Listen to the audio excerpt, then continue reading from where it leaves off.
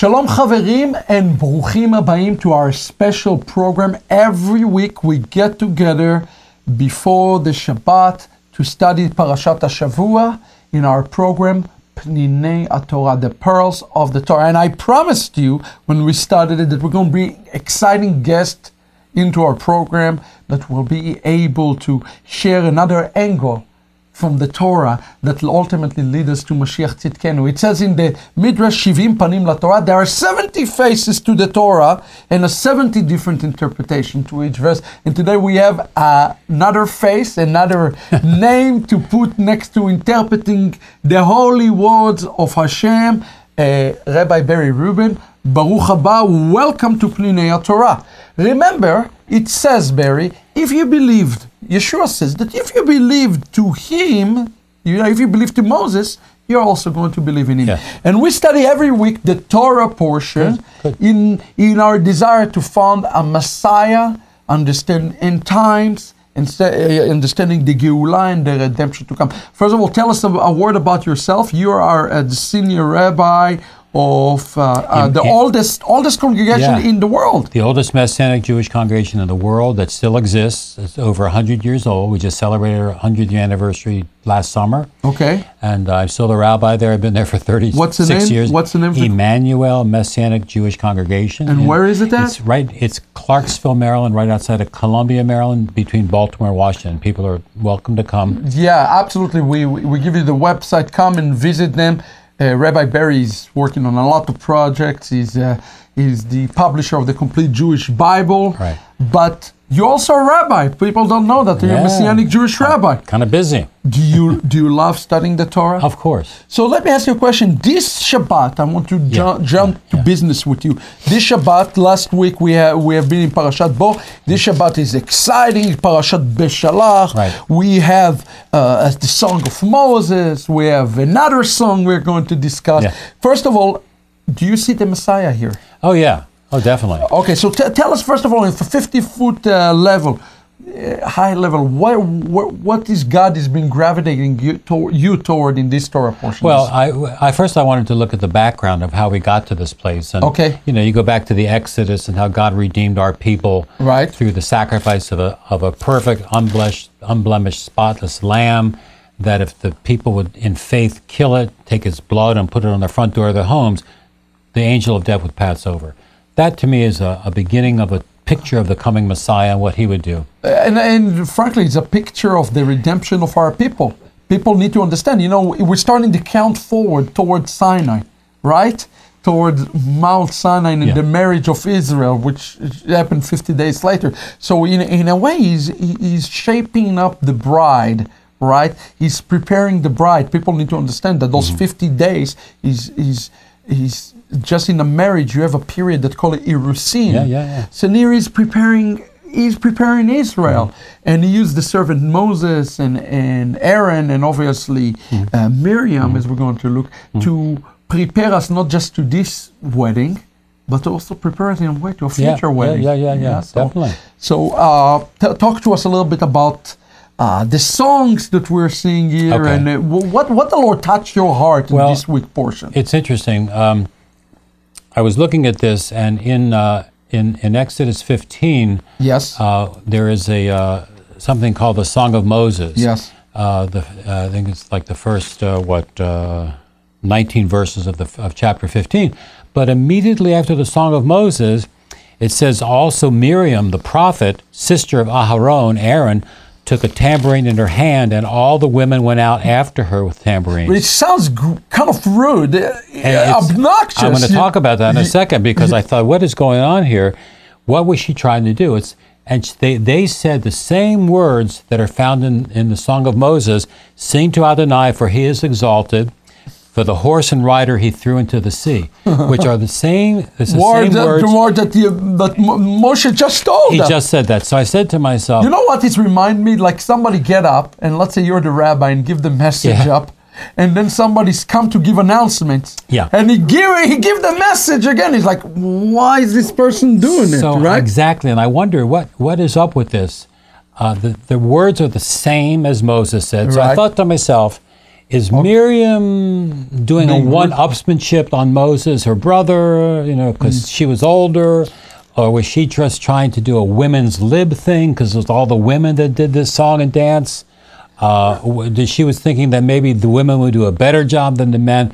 I couldn't figure it out, so I looked a little But, deeper. but you know, before you even get there, I just want to throw something because here the the key verses, which we're going to read in a minute, it says.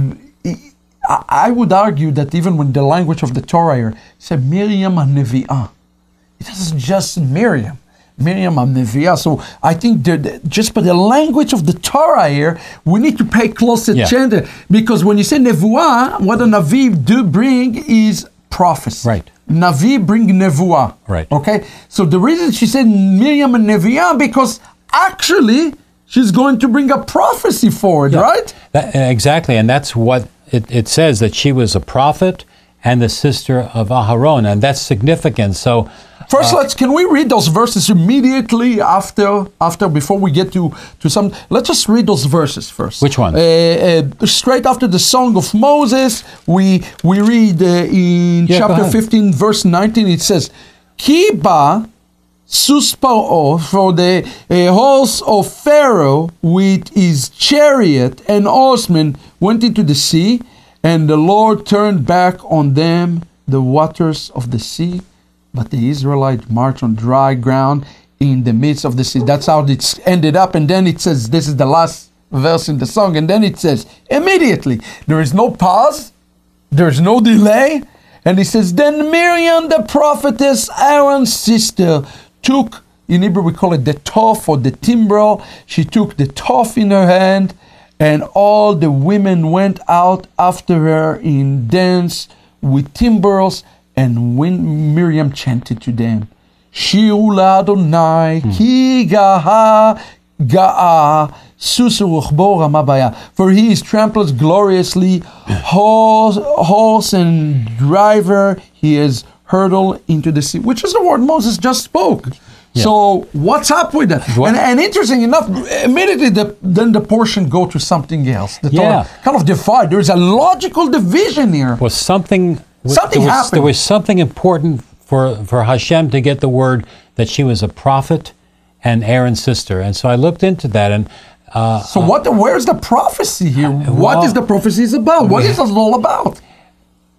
If I take this is Hazal uh, references references this according to And if to you want the quote, just so you know, Yeah. uh, we talked about this. Uh, we found amazing uh, commentary in Exodus Rabbah, chapter Right, one, verse twenty, and also in the Mechilta on this. So, so give us some of the background of what is going on. Well, I think this- this- there's a great mystery. this here. refers back to when um, Moses was a baby.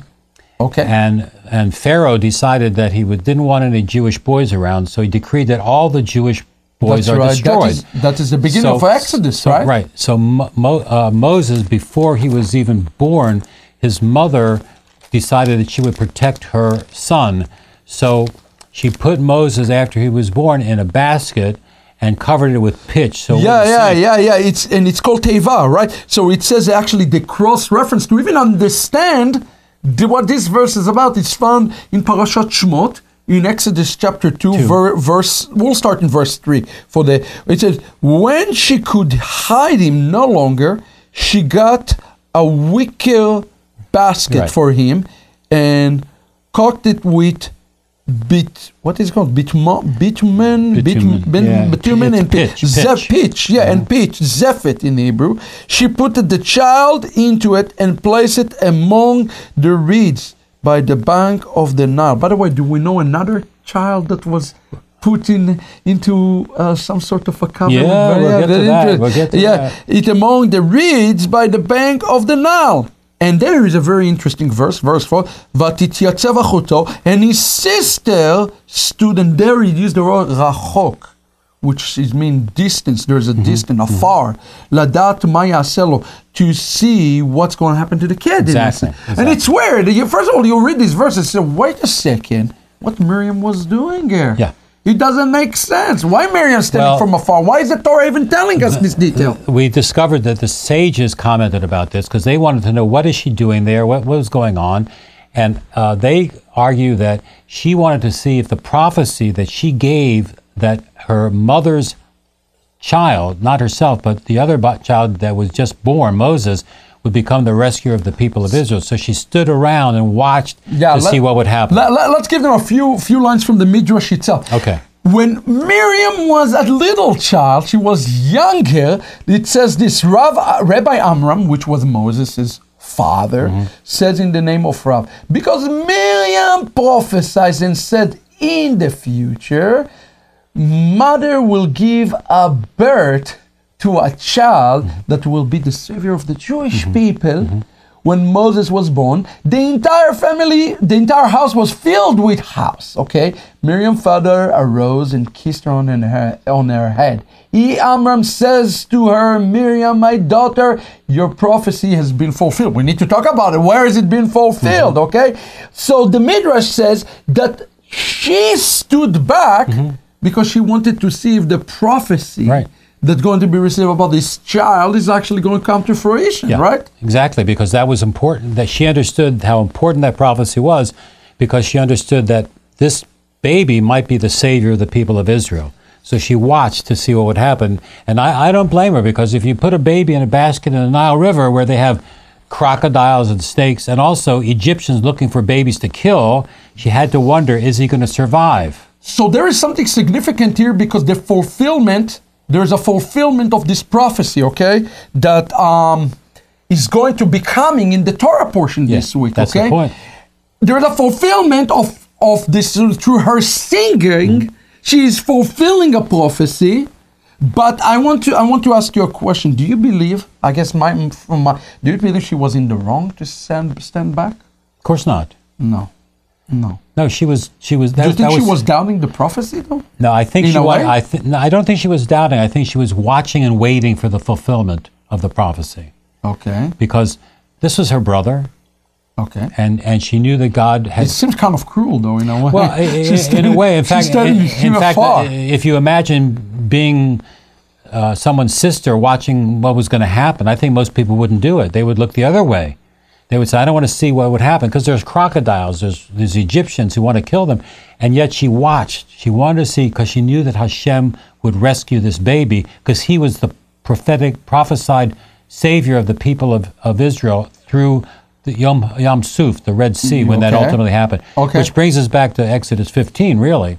Okay. So, so, so, so walk us now through this. What do you see in this? So, this is really what we're talking about right now is a messianic prophecy in something about Moses. There is. Right? I think that Miriam was, where it says she was a, a, a Navi here, what was her prophecy? It was that her mother would have a child who would be the savior of the people of Israel, which was Moses. So she's watching to see this take place. Then we come back to the when Israel was delivered out of Egypt and and were, was told by Pharaoh to, to leave town. Of course, Pharaoh changed his mind, you know. Yeah. Once again, he said, "We can't let these people go. They work too good. They were good workers. Let's get them back." So he went after them, and so we have the scene at the at, the, at Yam Suf, the Red Sea, the Sea of Reeds, where uh, Israel's about to be destroyed by Pharaoh's armies, and, and and Hashem does a miracle. He parts the Red Sea, Yes. and Israel gets through on dry ground, Yes. and his soldiers drown. And by the way, there's there's our new archaeological evidence that's found chariot wheels in the bottom of the of the Red Sea. Amazing. So this is a true story. So. Uh, uh, so what was happening is God was delivering the people of Israel, and Moses was fulfillment of the prophecy that Miriam gave. Yes. He was the savior of the people. So what happened at the end of it? Um, they sang a song. Yes. It says in verse 15, uh, chapter 15, 15 all verse. the people of Israel sang a song. Yes. They were having a great time. They were having a great party because they were delivered. That's right. I will sing to Adonai, for he is exalted. The horse and the rider he threw into the sea, which we know it's Zena Tsena. Yeah. We're not going to sing, are we? Well, No, no, it's not. we don't, we don't want to scare It's a people. good song, though. Zena Tsena. So anyway, when um, when uh, when this happened, Mos, uh, Miriam uh, seemed to uh, want to add to this. I guess in music they call it a, a coda, C-O-D-A, like a conclusion, and she repeated the same line About the Redeemer. about that, and you wonder what she was doing. And and so the yeah, but, but but I guess my question to you: If Moses already sang the song, and he is saying, "I'm the Redeemer" through this song, Mm-hmm. he is the Redeemer of Israel. I guess it's a trick question. And she's saying, "Okay, he is the Redeemer, and here we are. We're going to complete this song." Mm-hmm. Isn't our redemption is already complete as Yeah. Jews? What was she I- doing? What we should, yeah. I mean, what was she doing? Can I, can I throw something at you that is very interesting? In the Song of Moses, it starts with the word az, then. Chazal came and says on the word then az, they said the reason it says az, because he's talking about a future tense. Mm-hmm. Moses has not yet completed the song. Right. Okay? So he's talking about some sort of a future. In the word Az Yashir Moshe, then Moses will sing. He's talking about a future song that Moses will sing Mm-hmm. when Mashiach comes. So it is perhaps verse one of a song. Maybe there's a verse two to the song. and maybe uh, in Revelation we have the Song of Moses That's again. where I was going. Yeah. this. Yeah. All right. So that's good. Yeah. So okay. So conti- continue to go forward with us here. Well, I will. Um, so I think that Miriam was fulfilling her role and basically reinforcing what happened in the Song of Moses. Why would she say the same words again? And, and you have to see what she was doing was celebrating the fulfillment of the prophecy that she gave. That's right. I also thought about this some more because there was another Miriam later in Jewish history, the mother of Yeshua the Messiah. Her name was. Miriam also. Okay. Interesting. And, uh, you know, when she was sp- spoken to by Hashem through an angel, that she would be the, the mother of a, of a special child, and she wasn't even married. So this was all very miraculous stuff for her. So, um, Mo, uh, so, you, so are you connecting it somehow to the Miriam, the mother of Yeshua? I am. Because listen, the names are the same. Yes. The situation is the same because Moshe was the savior of the people coming out of Egypt. Yeshua is the savior of the people going henceforth. And the situation was the same because you have the Egyptian Pharaoh and leaders trying to destroy the baby boys. Exactly what happened in the early part of Yeshua's life because King Herod was jealous about who this baby boy was called the Mashiach. And he declared that all the baby boys would be killed. Because we know that, that God protected uh, Yeshua and his parents. But uh, and particularly interesting, I think, to me, is that Miriam, the mother of Yeshua, sang a song Okay. also. Where, where is that at? That is found in Luke chapter 1. Do you have the I, reference? I do, verses 46 to 55. Let's go there. okay. I'll, I'll look in my complete Jewish Yeah. study Bible. Yeah. And And this is called in Christian circles, particularly Catholic mm. Christian circles, Mary's Magnificat. Now, Oh. it's not a term I use, but it might be familiar to Luke 1, what? Luke 146. Luke 146. Amazing. Oh. So uh, it says, uh, this verse four, Luke 146, then Miriam, Yeshua's mother, this is all, her name is Mary to Yeah, some, but yeah, we know Miriam. Miriam. Yes. And Miriam said, My soul magnifies Adonai, and my spirit rejoices in God, my Savior, who has taken notice of the servant girl in her humble position. For imagine it, from now on, all generations will call me blessed. The mighty one has done great things for me. Indeed, his name is holy, and in every generation he has mercy on those who fear him. He has performed mighty deeds with his outstretched arm, just like Moses did routed the secretly proud, brought down rulers from their thrones, raised up the humble, and filled the hungry with good things, but sent away the rich empty. He has taken the part of his servant Israel, Yeah. mindful of the mercy which he promised to our fathers, to Abraham and his seed forever. So, in this, basically a song that is sung in Christian circles a lot, it's once again a reference to God's faithfulness to his people Amen. Israel, to Abraham, Isaac, and Jacob and their descendants forever. But it's interesting because because Abraham is mentioned by name, which means everybody who's partaking the Abrahamic covenant can, in essence, partaking this song. Absolutely. Yes, that's that is amazing. So you're saying that this song by Miriam, which actually connect the dot for me, that's saying in the Torah is actually speaking about a future song mm-hmm. of another Miriam Yeah. who who will be singing to bring the Redeemer of Israel. Yeah, and the pattern is the same. so look, the word Moshe Chai in Gematria is Hamashiach. Okay. And it says in Exodus Rabbah 2, verse 4, Kegoel Rishon, Kegoel Acharon. As first Redeemer, as the last Redeemer. Mm. They must parallel. Moses and Mashiach must parallel. Without doubt. We, we, and here the parallel is absolutely stunning Yeah. beyond, beyond Miriam, uh, beyond Miriam words here. And I was thinking even about this even further. It says very next verse after this song. Did you notice something? It says, "Vayisam Moshe el Yisrael miad b'sim." They left to Yam Suf, and they go to the and to the wilderness. And how long did they walk? They walk for three days. You want to talk about a hmm. parallel? Mm-hmm. There is a parallel here mm-hmm. also that related for the three days. And think about after the three days. Look, it said they didn't have water. Okay, they had bitter ma- water. Okay, and by the way, the word bitter is also from the word marim or Miriam. Mm-hmm. Is interesting. Mm-hmm. Okay, in essence, if one does not listen to what Miriam proclaimed, he's going to receive bitter water. Mm-hmm. And then what happened? They com- they complain, and God give him sweet water. It's a picture of the entire end time. Mashiach came. There was a song proclaimed. Those who didn't believe in the song had a period of bitterness. Mm-hmm. It's called tribulation. Mm-hmm. It's Jacob trouble. But at the end, there's a sweet, Yeah, sweet water. definitely. It is the entire gospel. It's found here in the Torah, and it's finding here to the song of, of Miriam. That's the wonderful thing about studying the Torah because there are patterns and predictions and all that sort of stuff that if you dig deep, which I know you do in your yeshiva, people can uncover that. So, what can we learn, in your opinion, through the song of Miriam, the second Miriam, I will call her, about the coming of Mashiach Yeah. and, and about what we are to do Well, today? I think that that needs to be understood this way. At the end of the song that Miriam sung in Luke, Yes. um, it's about Abraham and his seed. Yes. That's all the believers in God through Yeshua, uh, the Messiah.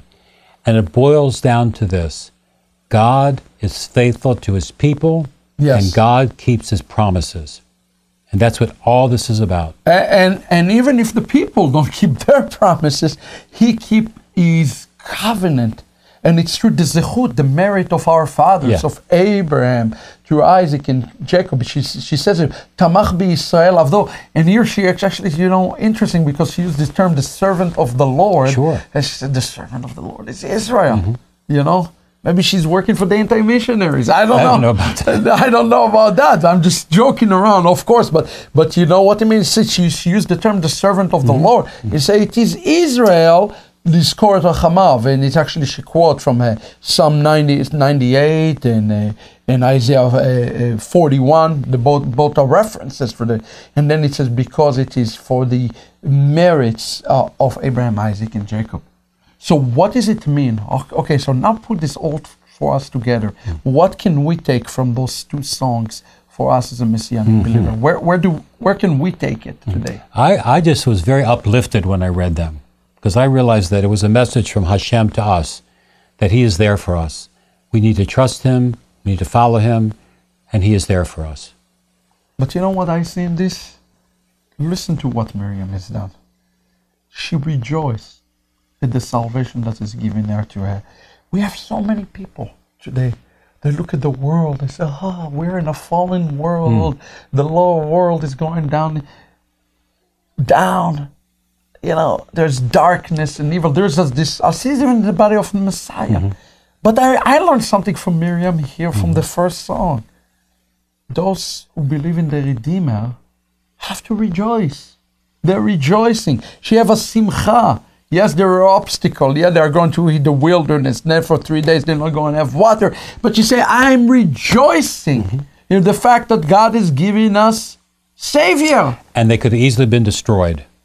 Yeah, This is the because because God is God and He chose us, we can believe that He will see us through, just like He saw the Israelites through the Yam Suf to dry land, and they celebrated. Just like Miriam repeated the same thing. Why Miriam, the New Covenant, is seeing that as well. It's a message. It's a general message that God is faithful to His people, and we can celebrate, rejoice. So, so look, the next month in the Hebrew Hebrew uh, uh, calendar is the month of Adar. Okay, Adar is coming, and Chazal says, "Mishenichnas Adar marbin anu besimcha." As Adar come in, we are rejoiceful. We are rejoiceful. We are to have exceedingly joy. After Adar come the month of Nisan, mm-hmm. right? Nisan comes from the word Nes, Nisim, Miracle. miracle, right? The, the month of our redemption. But the rabbi said before you can you can ask for the miracle, you have to have exceeding abundance of joy. Okay? This word simcha, joyfulness. Simcha, flip the letter, samech, Mashiach.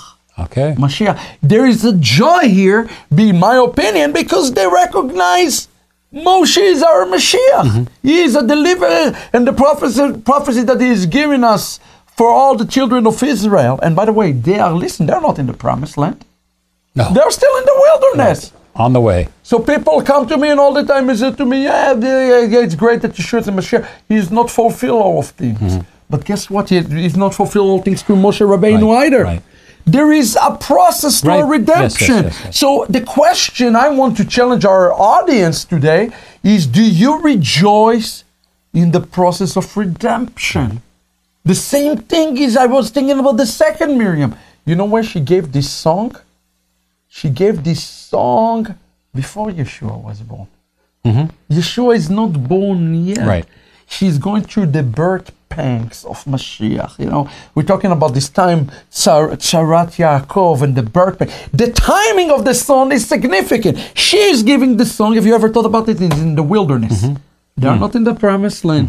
Miriam is giving the song in the Brit Hadasha. Yeshua is not to be born. Right. So people look today like, you know, Jeremiah 31, a promise mm-hmm. of a new covenant. Mm-hmm. Well, not everything in Jeremiah 31, 30, 33 has been fulfilled. Mm-hmm. No, because we are today in the Galut. We are still in the diaspora today. And we need to learn to rejoice. Rejoice in what God is doing today. Then we can all say, oh, yeah, but it's bad, and this is bad, and the Messianic movement is bad, and this is crooked. But look what Miriam did. She went in the wilderness. Okay, she took the topim and the chalot and she sang with joy. And I love the fact, by the way, we didn't talk about this, but she took among, upon herself other women. What do you think this is significant? Hmm. That she brought some more people to worship with her. Hmm. She didn't do it by herself. She said, I am going to bring other people to joyful in what Mashiach has done today. I'm, I'm challenging the people. Stop looking for what Mashiach going to, to do tomorrow. Hmm. Look at what Mashiach doing today. Hmm. Even in your hardest day, in hardest, listen, she's pregnant. It's not easy being pregnant, you know, And, and, and not married. and not married and having a bunch of tourists, right? Miriam here, also, she have, they have no idea where they're going to. Mm-hmm. But isn't it interesting? Think about it. These are women of great faith, great faith, great trust in Hashem. But we can learn from those women. I would think so. I would think so. Yeah. So so look, here Hashem preparing us to receive the Torah. And a matter of fact, the very next parasha, the very next parasha is Yitro when we receive the Torah. Right? Here, the very next thing that happened, Mashiach come to the world and bring us a new covenant. Have you ever thought about that parallel? Hmm. That's good. If we want to receive a new covenant, if we want to receive the Torah, if we want to walk in a covenant, I encourage everybody rejoice in what He's giving you the little today and praise His name. Praise His name tomorrow, today, today, and He will teach you, as it says in the in the end of the song of Moses, when Moses says us, he said, "I'm going to teach you the best part of the song I know, hmm. but there's a greater part. But rejoice." in the part of the song I'm teaching you today. Because Mashiach going to come and teach you the rest of it later on. So rejoice is the key word here. Yeah, Baruch Hashem, Baruch Hashem. Rabbi Barry, th- this is quite a lesson for us. Rejoicing and learning to singing for Him. Not just in the, and think about it. For her, it started not just in the future, it started in the past. Yeah. For Miriam, it started in the past when she was just a little girl. How much more it is beautiful when we see things fulfilling our life. Uh, absolutely. So, It's so- wonderful. So, so I, I, take a picture of this. Is when God prophesies and He speaks to us in prophets and tell us things. First of all, rejoicing when He given it to you, rejoicing the journey as the things are giving fulfilled, and even when things not getting fulfilled in your life right away, still praise Him because only He and He alone know the timing and the season, right? Well, Baruch Hashem, uh, Rabbi Berry, this has been a very, very wonderful Beshalach, Beshalach uh, uh, portion, and I pray for all of our people Uh, oh, yes. to have expectation. And that's why today we don't have to be doomer and gloomers. Those who know Mashiach have what to hope for, have the expectation. Even if you're in the wilderness today, you have the expectation. As it says in, you know, Exodus 6 6, just in uh, two weeks ago portion, he said, and I'll close with this, he says, in 6 8, he says, Exodus 6 8, he says, I will bring you into the land which I swore to give to Abraham, Isaac, and Jacob, and I'll give it to you as a possession. I am the Lord. We have a promise of a completion of all the covenants when He brings us to those covenants. So rejoice in this today. If it was good enough for Miriam to rejoice, it should be good enough for us to yeah. rejoice. God bless Amen, you, Rabbi amen. Berry. To the to the rest of you, Shabbat Shalom Umevorach. Check up Rabbi, Rabbi Berry if you're anywhere uh, in the Maryland, uh, Washington area. For the rest of you, we are looking forward to receiving your comment and your questions on Parashat Beshalach. Litraot, Kol Tuv.